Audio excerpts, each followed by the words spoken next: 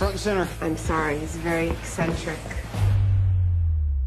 I want one. No.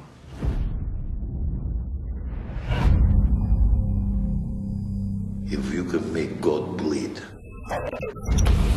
people will cease to believe in him. And they will be blood in the water. And the sharks will come.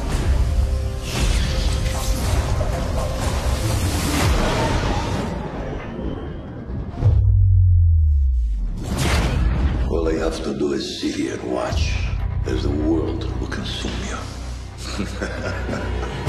Our priority is to get the Iron Man weapon turned over to the United States of America. I am Iron Man. The suit and I are one. Contrary to popular belief, I know exactly what I'm doing. What? What I saw you do to Tony Stark on that track, wow. You need my resources. I want to make Iron Man look like an antique. This whole lone gunslinger act's unnecessary. You don't have to do this alone.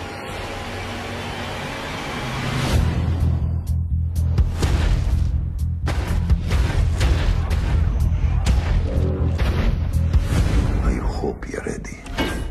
Come on!